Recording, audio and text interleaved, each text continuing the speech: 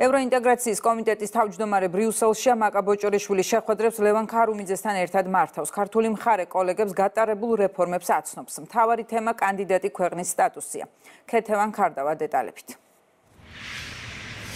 მოგესალმებით საქართველოს სურვილია და მიზანი რომ 2023 წელი დასრულდეს ევროინტეგრაციის გზაზე დაწინაურებით და ქვეყანამ დეკემბერში მიიღოს კანდიდატის სტატუსი. იმისათვის რომ ეს ასე მოხდეს აუცილებელია საქართველოს შეასრულოს ის 12 რეკომენდაცია რაც გამოაქვეყნა გასულ წელს ევროკომისიამ. შემდეგ გასცეს ევროკომისიამ დადებითი რეკომენდაცია ჩვენი ქვეყნისთვის კანდიდატის სტატუსის მინიჭება ხებაზე და წლის ბოლოს დეკემბერში ევროკავშირის წევრი ქვეყნების ლიდერებმა მიიღონ პოზიტიური პოლიტიკური გადაწყვეტილება.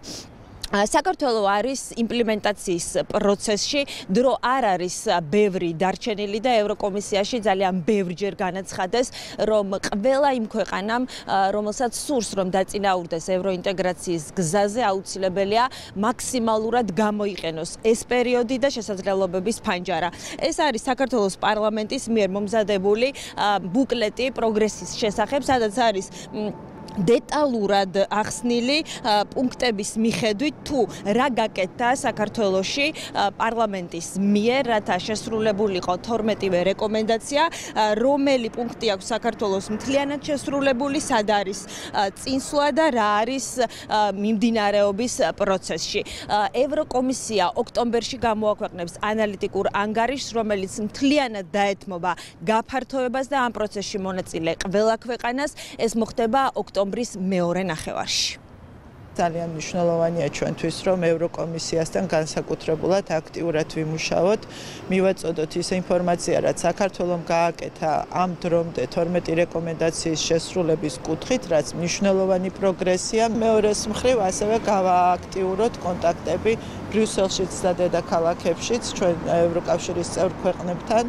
გამომდინარე იქიდან რომ გადაწყვეტილება რომელსაც დეკემბერში მიიღებს ევროკავშირი იქნება პოლიტიკური საკანონმდებლო კუთხით პარლამენტის მხრიდან ჩვენ შეიძლება ვთქვათ რომ 12 რეკომენდაციაზე მუშაობა ფაქტიურად დასრულებულია რამოდენიმე კანონპროექტია ჯერ კიდევ მისაღები პროცესი რა თქმა უნდა არის საკმაოდ ფართო რეკომენდაციებიც საკმაოდ ფართოა მნიშვნელოვანია ვიცოდეთ უკვე გადადგმული ნაბიჯების შეფასება ევროკავშირის მხრიდან და მეორეს მხრივ თუ რა იქნება ის ინდიკატორები, რითაც მოხდება საქართველოს მიერ განხორციელებული ნაბიჯების შეფასება ევროკომისიის მხრიდან.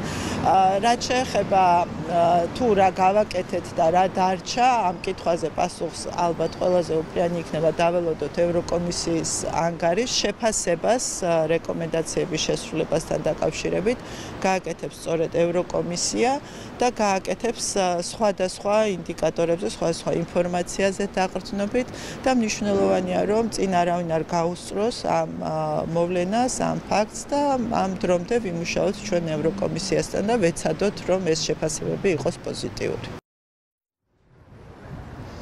გაფართოების შესახებ ანალიტიკურ ანგარიშში ჩვენ მოვისმენთ თუ როგორი იქნება ევროკომისიის პოზიცია. გასცემს თუ არა ეს ინსტიტუტი საქართველოსთვის რეკომენდაციას უკვე ევროპული საბჭოსთვის რომ მათ მიიღონ პოლიტიკური გადაწყვეტილება და ქვეყანას მიენიჭოს კანდიდატის სტატუსი მოლდოვასა და უკრაინასთან მიმართებაში კი ეს სახელმწიფოები ელოდებიან მოლაპარაკებების გახსნას მომავალი წევრობის შესახებ კომისიაშიც და საბჭოშიც ამბობენ რომ მომავალი გაფართოება არის აქტიური თემა დღეს ყველა ინსტიტუტში და მზაობა ამისათვის არსებობს.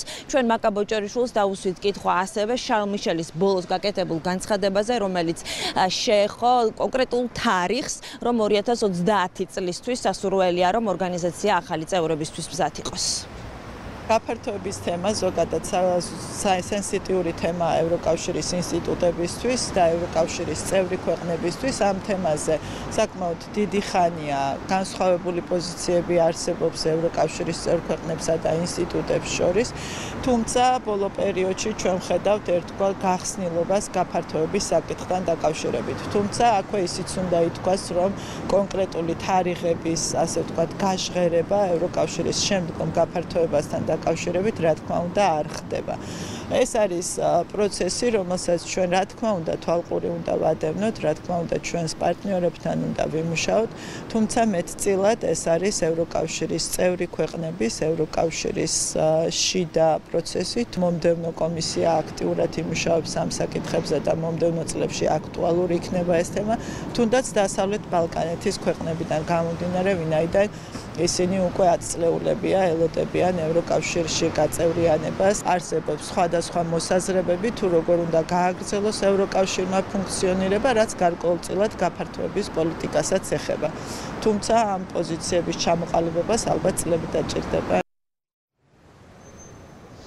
კომისიაში არაკეთებენ განცხადებებს კონკრეტულ თარიღთან მიმართებაში. ისინი ამბობენ, რომ ეს მართებული გზა არ არის. დღეს ევროკომისარმა ამ თემაზე საუბრისას აღნიშნა, რომ მიშელის განცხადება იყო ნიშანი იმის, რომ საბჭომ ზადარის გაფართოებისთვის ეგრეთ წოდებული გიგანტური ნაბიჯი გადადგას. მაკა ბოჭორიშვილმა გითხრა, რომ დეკემბრამდე აქტიურად იქნება მუშაობა ყველა წევრი ქვეყნის დედაქალაქთან, დაგეგმილია თბილისში მაღალი დონის ვიზიტები.